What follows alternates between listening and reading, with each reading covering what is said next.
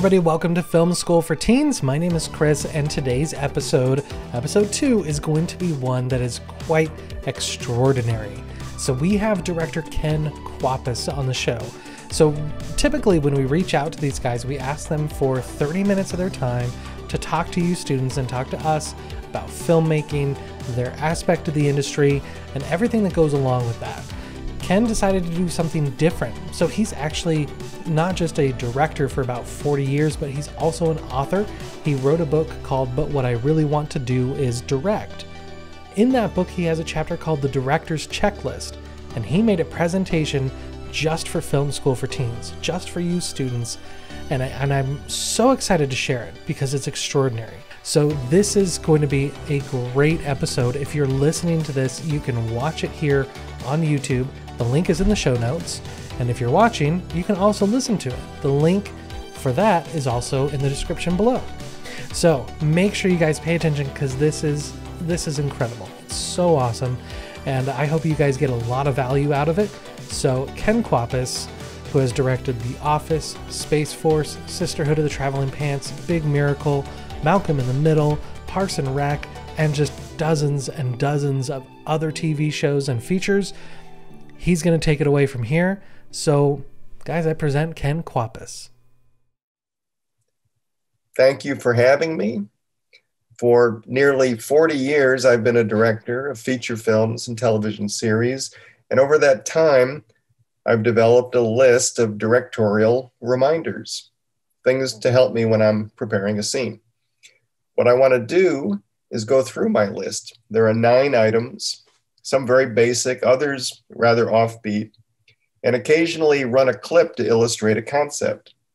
After that, I want to show you a scene from a film I directed, The Sisterhood of the Traveling Pants, and discuss how I applied these directorial tips to that scene. So, the first item on my list is what I call the emotional roadmap. As a director, you need a clear idea of every character's journey part of your job on the set is to remind the actor where he or she is on that particular journey. And there are different ways to describe this journey. Some prefer the phrase through line or character arc, but I like the visual of a map. So before digging into any specific scene, I step back and survey the map. Does the main character have an overarching goal in the story? What circumstances shaped the character's life prior to the story? Sometimes there's not much information in a script about a character's backstory, but you can usually find some clue, some tidbit that allows you to invent circumstances about a character that will fire up your actor's imagination, whether the actor is the lead in your story or merely has one line of dialogue. And by the way, on the set, you need to be attentive to all the actors, a point I'll circle back to. The concept of an emotional roadmap applies just as much to series as to features. I helped launch NBC's comedy, The Office. The main character, Michael Scott, has a very clear overarching goal. He's convinced that he's a comic genius, and his goal is to make sure that the documentary crew filming daily life at Dunder Mifflin Paper Company captures his brilliance on display. So once you identify the character's overall goal, now look at the individual scene. Is there a specific goal? And what tactics does your character employ to achieve that goal? Now, the word tactics is a good segue to reminder number two on my list, namely, try and come up with playable notes for your actors. Some of you may have acting experience and you know how frustrating it is to get a note from a director that's simply not playable. I've heard more than a few directors tell an actor to make it funnier. Well, that's not a playable note. That, that's a so called, quote, result oriented note. Here's another kind of result oriented note. A director may give an actor a, a line reading. Let's consider a well known line of dialogue from the movie Scarface Say hello to my little friend. An unimaginative director might say to the actor, I want you to really hit the word friend. Say hello to my little friend. Well, that's essentially treating your actor like a dialogue spewing robot. It's always better to remind your actor what he or she needs to achieve in the scene and using active verbs give them different tactics to achieve their goal. Here's an example. Let's say your character needs someone to lend her $1,000. She might plead, cajole, insist, beg. Those are all active verbs, ones that your actor can sink her teeth into. And personally, I love encouraging actors to change tactics from take to take. So please remember the word tactics when we get to the Sisterhood of the Traveling Pants. You'll notice that I haven't mentioned anything about visuals yet. That's because when I prepare a scene, I try to work from the inside out. I want to make sure I understand, I want to make sure I really grasp the emotional content first. Then I can pre visualize the action in a way that supports the emotional content. But now let's add images. The third reminder on my list is simply this tell your story with pictures. How much information can you convey without any dialogue? Can you, for instance, visualize the dynamic between the characters? And when I use the word dynamic, I'm thinking about, for instance, who has the upper hand in a scene, who has the high status. And if the dynamic shifts over the course of the scene, can you represent the shift visually rather than relying on dialogue? Can you convey a character's intentions without speech? If your character, for example, is a young attorney about to try his first case, what image, what image conveys his sense of confidence or his sense of anxiety? As an exercise, I encourage you to watch TV shows or films without the sound in order to see just how much is being communicated visually. Now, some of you may raise the question what if you're directing a scene that's inherently not visual? Example, two people talking on the telephone. We'll hold that thought. We'll get back to that. My fourth directorial reminder is one that I wish more directors would consider namely, can you use body language to tell your story? How can your actor physicalize the emotional content? Can we understand the gist of the scene just by watching a character's back or a hand. So let's look at two clips that illustrate just how expressive a hand or a back can be. The first clip is from the World War I drama, All Quiet on the Western Front, directed by Lewis Milestone in 1930. Here's the setup a German soldier spots a butterfly outside of his trench reaching for the butterfly, he inadvertently gives away his position and a sniper kills him. So let's watch how Lewis Milestone stages this scene.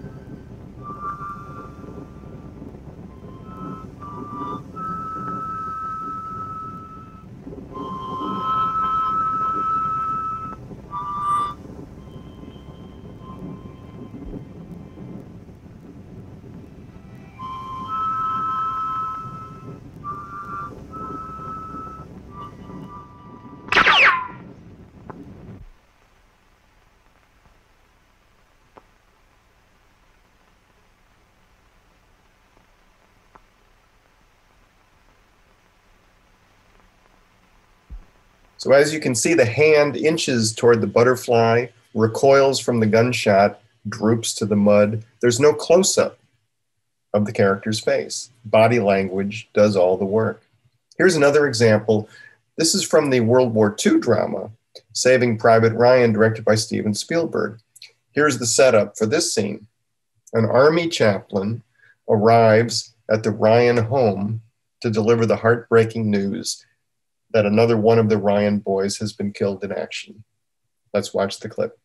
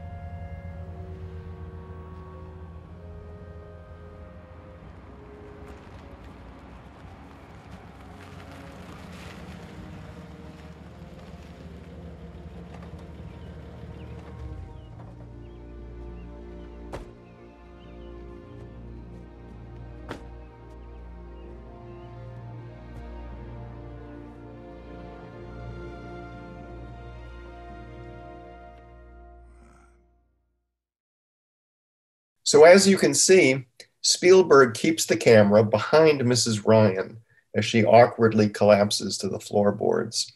At the emotional peak of the scene, there's no close up of the character we're most invested in. And I would argue that the actor's physicality is more powerful than any close up would have been.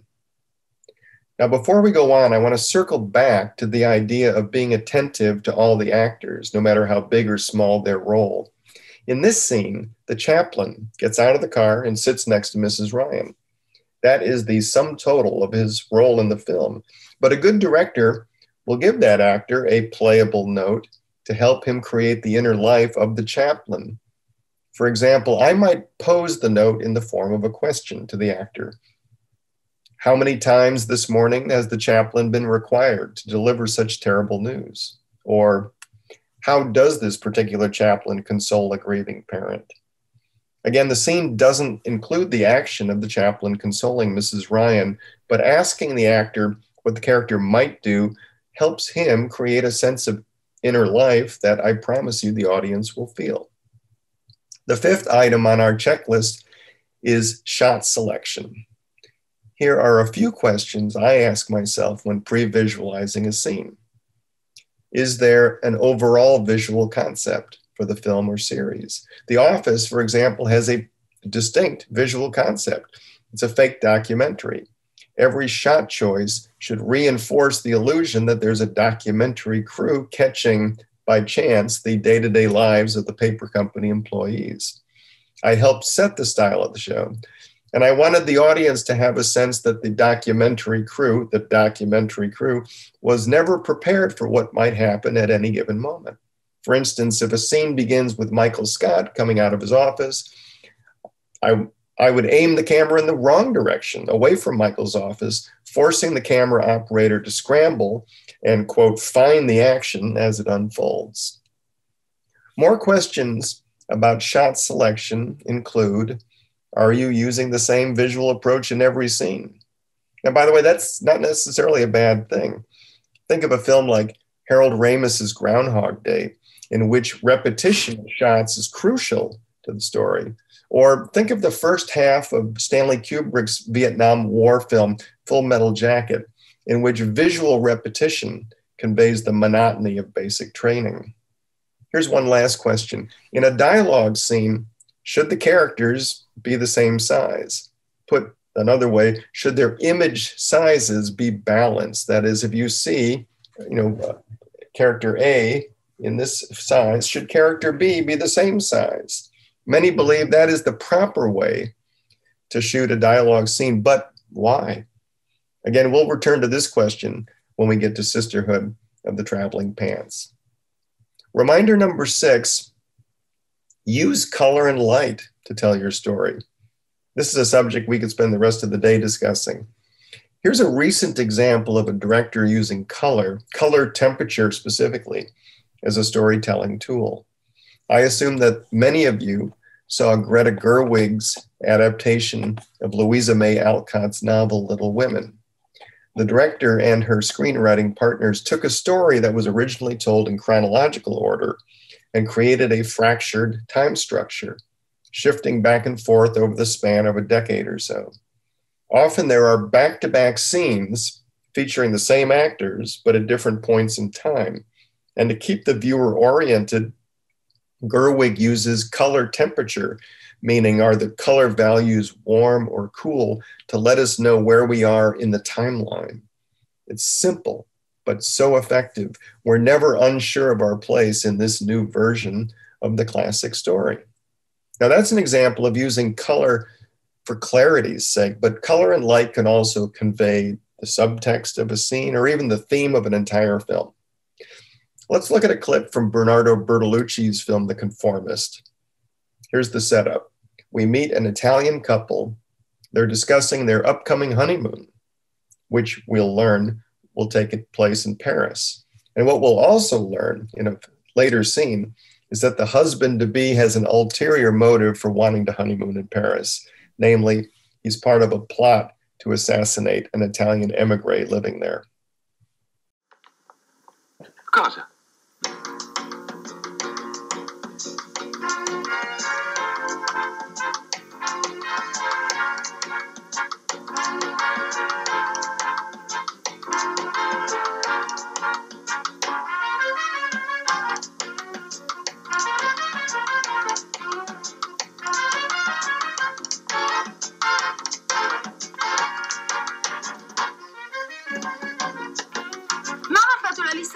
Invitati, vuoi vederla? No, mi fido, mi fido. Sai che ha detto Don Lattanzi?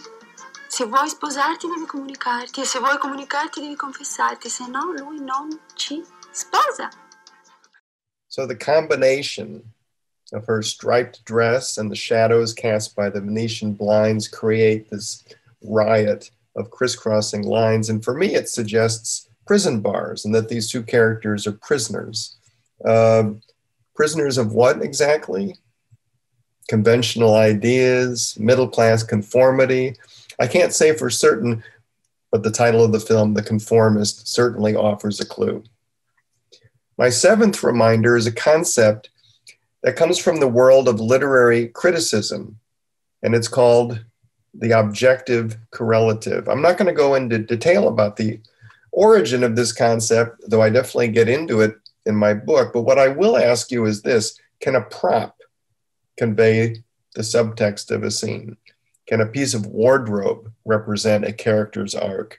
For you admirers of the show Breaking Bad, think of Walter White's pork pie hat and how it reflects his character's emotional journey. Can furniture tell a story? Hmm. Well, let's go back to the office again and look specifically at the relationship between the characters Pam and Jim. Now, as the director of the pilot, part of my job was to design the layout of the Dunder Mifflin bullpen.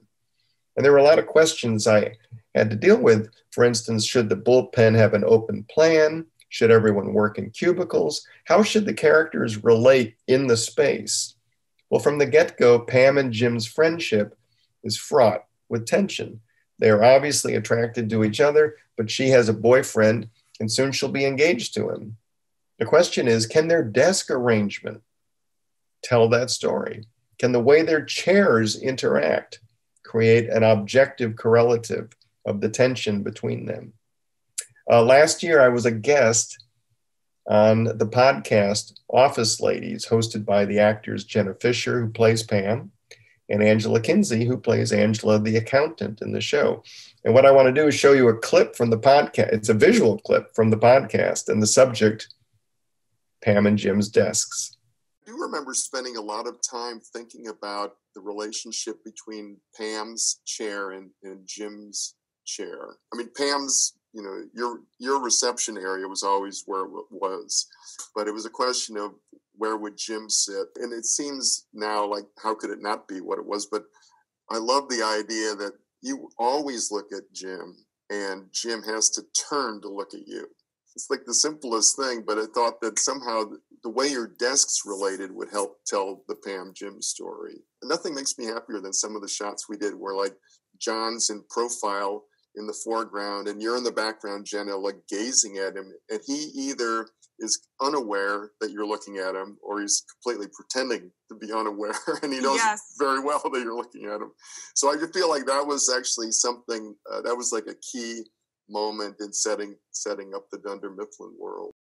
Again, their desk arrangement acts as an objective correlative of their relationship. And it inspired me to come up with a signature image for the show as a whole. As aspiring directors, I really urge you to just imagine how a prop or a piece of wardrobe or even the space itself can reinforce the emotional content of the story. Reminder number eight is to think about how you can use off screen space to tell your story. Often, what we don't see is more compelling than what we do. Sometimes it's just as important to manipulate what's outside the frame as it is to choreograph what's contained within it. Now, here's an example from Mike Nichols' film The Graduate. And in this short, wordless scene, Benjamin lies in bed watching TV while Mrs. Robinson gets dressed to leave. And by the way, that's probably all the scene description said in the script. Quote, Benjamin watches TV while Mrs. Robinson gets dressed. But look how Mike Nichols choreographs this very simple action. Oh, and by the way, he didn't come up with this idea on the spot. The scene was carefully planned.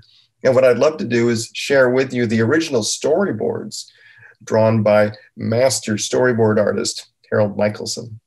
The first shot in the storyboards, labeled 74, is an insert of the television set. On it, there seems to be a test pattern playing. Then we cut to Benjamin, shot 75. Now, there's a frame within the frame that suggests that we're going to start close and pull out to reveal Benjamin lying in bed. As the shot continues, Mrs. Robinson enters frame, and as the scene unfolds, Mrs. Robinson crisscrosses in and out of frame. She finally enters right to left. The camera pans with her to the door, and she leaves. Swelled with rain,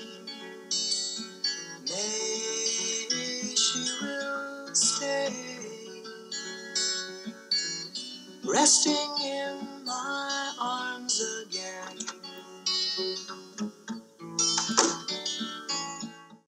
The ninth and final item on our to do list is to be mindful of transitions from one scene to the next.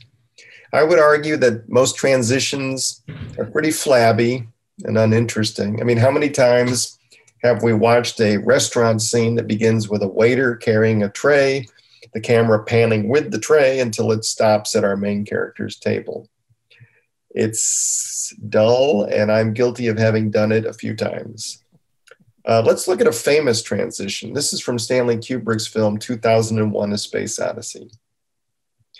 In the scene, we watch a prehistoric primate toss a bone into the air.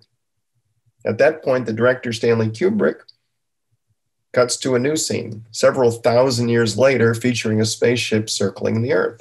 Now, let me set up this transition with a little more detail. This primate has just made an earth shattering discovery, namely that he can use a bone as a weapon. And that discovery leads to the scene we're about to watch.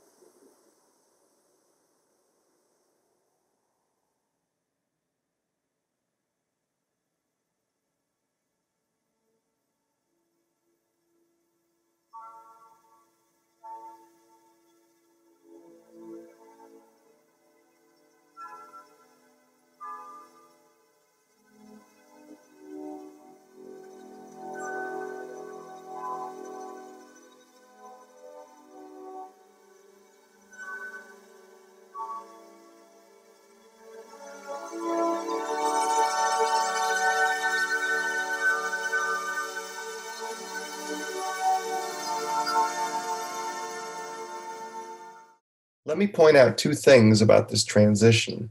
First, it was planned. The actor in the primate costume didn't just impetuously throw the bone into the air. The transition was carefully designed. And second, for me, what gives the transition energy is contrast. Now, the shape of the bone and the shape of the spaceship that replaces it are pretty much the same. But what a contrast in image size, a close up of an object no longer than, say, 12 inches, juxtaposed to an extreme wide shot of a spaceship the size of a building. As a filmmaker, contrast is your friend. And I urge you to write the word contrast on a post it and keep it in front of you at all times. The bottom line a well designed transition makes the viewer feel that someone's in charge of the storytelling, someone is at the wheel. So now let's move on to the sisterhood of the traveling pants. I chose this scene from Sisterhood for two reasons. First, it's emotionally powerful. And second, on the surface, there's nothing visually compelling about the action. It's a phone conversation. Here's the setup Carmen, played by America Ferrera, is excited to spend her summer holiday with her divorced father, Al, played by Bradley Whitford. Upon arriving at his new home, however, Carmen is shocked to find that Al is living with a new fiancee, Lydia, and that she has several children of her own. Needless to say, it's a punch in the gut. Al should have warned her. Carmen's much anticipated holiday quickly goes off the rails and she unceremoniously returns home. Her best friend, Tibby, played by Amber Tamblyn, convinces Carmen to confront her father on the phone. And here's the scene.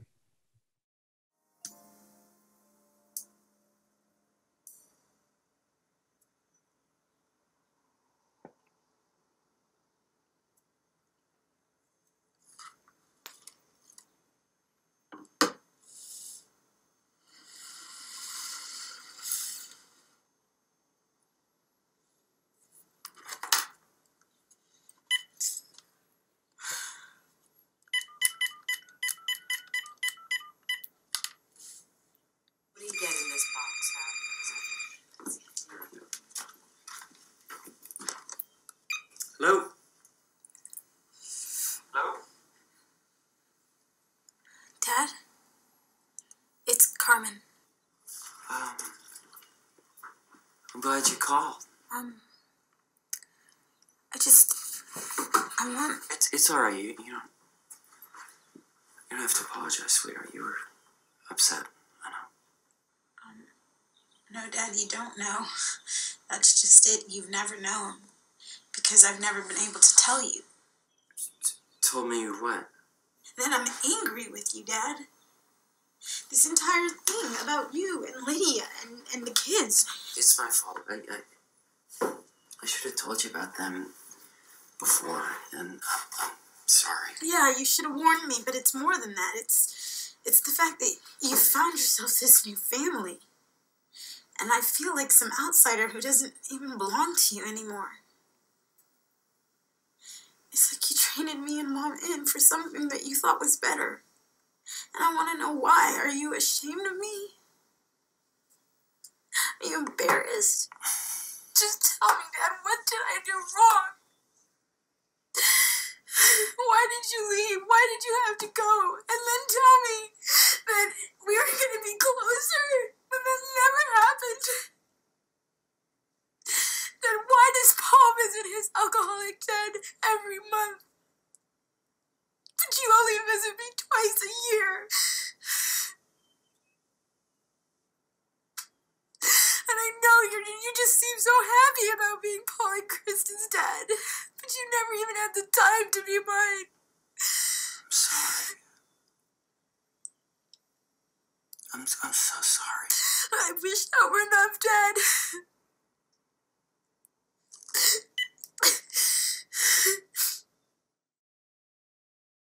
Clearly, America's performance gives the scene its emotional charge, but there are a lot of craft choices that support the emotional content.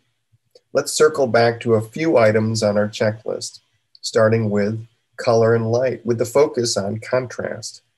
So the phone call takes place in two kitchens, and I wanted as much contrast between the kitchens as possible. Al and Lydia's kitchen is white. It represents his new you know, white bread suburban family. It's clean and uncluttered, which perfectly reflects Al's character. He's a conflict averse guy. Emotions are messy, better to keep them at arm's length. And the kitchen is appropriately spotless. Carmen's kitchen has orange walls. There are splashes of color everywhere. It perfectly represents her vibrant personality. And simply by intercutting these visually distinct spaces, you create cinematic energy. Now, here's a wonderful anecdote. For Al's close ups, I told my cinematographer, John Bailey, that I wanted everything in the frame to be white. And when I arrived to review the shot, I was surprised to find a bowl of lemons on the kitchen table. And I said, John, we talked about this. Everything's supposed to be white. And he replied, That's exactly why the lemons are there. A burst of yellow is the very thing that enables the eye to perceive everything else as white. So let's talk about body language. This is a talky scene, but I wanted physicality to play a role. Al starts the scene on his feet.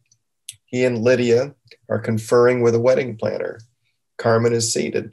He's the parent, she's the child, but as she takes him to task, the power dynamic flips. As she stands up for herself, he sits down. And I plan the cutting so that the moment America rises, Bradley takes a seat. It's a small but significant craft choice that physicalizes the power shift between the characters. Here's another simple but compelling body language choice. I asked Bradley to cover his face with his hand as the scene progressed. Al's ashamed, and I wanted to create the sense that he's almost hiding his shame from the audience. He spends most of the scene shielding himself, his hands sort of tensely draped against his cheek. Let's talk about shot selection. I asked earlier if two people are engaged in a conversation, should they have the same image size? Well, the answer absolutely not. In addition to asking Bradley to cover his face, I chose not to shoot any conventional frontal shot of him at all. He's only seen in profile, his face completely obscured. Conversely, I wanted to visually reinforce the sense of Carmen unloading her feelings. So I framed her in an uncomfortably tight close up. I wanted the viewer to feel trapped by her outpouring of emotion. And by the way, Amber Tamblyn has no dialogue in the scene, but her presence is critical. She's like a, a sentry protecting Carmen. She's got Carmen's back, as it were. Amber never moves. She doesn't even look at Carmen once the phone conversation begins. My original thought for Tibby, Amber's character, was to exit effectively giving Carmen the floor. But on the shooting day, it seemed more powerful for Tibby to just remain in the background, as if guarding the perimeter. Now, toward the end of the scene, I asked America to make a slight move, just a little step to her right, and we pan with Carmen, and now Tibby is excluded from the frame. Carmen is alone in the shot, and I wanted the image to suggest that she doesn't need any backup. She's got this now. So finally, let's talk about the emotional roadmap and playable notes, the first two items on our list. America and I discussed Carmen's overall journey at great length. She loves her father. She misses him deeply. She's determined to enjoy a wonderful summer with him, but he foils her plans. In this scene, Carmen has a very specific goal, namely to be acknowledged. America did many takes of this scene. She had an inexhaustible reservoir of energy. And from take to take, I gave her different tactics to achieve her goal. I remember saying, reason with your father, or in a different take, attack your father, demand that he acknowledge you, coax him into acknowledging you. I also suggested that at any moment she could switch tactics. You start by reasoning with your dad, but the moment he says, Carmen, you don't have to apologize. You realize how clueless he is, and you decide in that moment that the only way to achieve your goal is to basically destroy him. These were playable notes, and each take gave America a chance to try a different line of attack. I wasn't aiming for any definitive version of the scene. My goal was to keep the actor, excuse me, my goal was to give the actor notes that would inspire her to just keep exploring. Okay, here's a sidebar. Each take America did was very emotional. And at one point, one of my producers pulled me aside, worried that America's acting was too big, it was over the top. And there's an old saying, my producer reminded me that if the character doesn't cry, the audience will. Well, this was not helpful to me in the least. As we continued shooting, I, I simply couldn't bring myself to rein in America's intensity. It, it, felt 100% honest. I mean, the scene is a major catharsis for Carmen. And I felt that pulling back the floodgates was a chicken move. So months later, we previewed the film. We had a packed house, mostly young women in the audience. And when this scene began, I knew it was it was a white knuckle moment for me. And as Carmen let loose this you know, torrent of emotion, two girls in the audience, they were to my left, started laughing. And my producer's warning came back to me in a flash, and I was terrified that the laughter would spread. But a moment later, two girls seated in another part of the theater yelled, Shut up! And the laughing girls did shut up, and the audience continued its rapt engagement with the scene. So I suppose if there's a moral to this story, it's that if an honest emotion unsettles your audience, you're probably doing something right as a director. So, with all of this in mind, let's take a look at the scene one more time.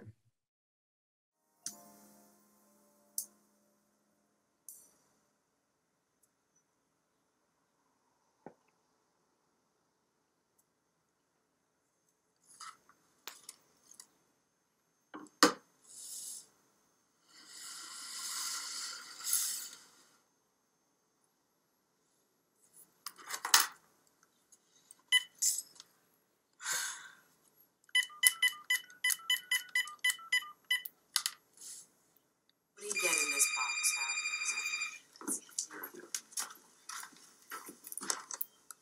Hello? Hello? Dad? It's Carmen. Um, I'm glad you called. Um, I just, I want, It's, it's all right. You, you don't. You don't have to apologize, sweetheart. You were upset. I know. no, Dad, you don't know. That's just it. You've never known. Because I've never been able to tell you. Told me what? That I'm angry with you, Dad. This entire thing about you and Lydia and, and the kids. It's my fault. I, I, I should have told you about them before, and I'm, I'm sorry. Yeah, you should have warned me, but it's more than that. It's it's the fact that you found yourself this new family. And I feel like some outsider who doesn't even belong to you anymore. It's like you traded me and mom in for something that you thought was better. And I want to know why. Are you ashamed of me? Are you embarrassed? Just tell me, Dad, what did I do wrong? Why did you leave? Why did you have to go? And then tell me that we were going to be closer, but that never happened. Then why does Paul visit his alcoholic dad every month? But you only visit me twice a year. And I know you you just seem so happy about being Paul and Krista's dad. But you never even had the time to be mine. I'm sorry. I'm, I'm so sorry. I wish that were enough, Dad.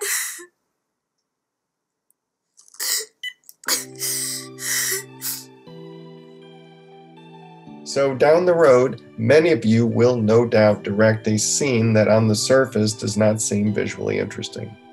And the reason I wanted to share this one with you is that once you grasp the emotional content, you can use an array of tools color, body language, choreography, contrasting image size to bolster that emotional content. So, thank you. I hope you enjoyed the presentation.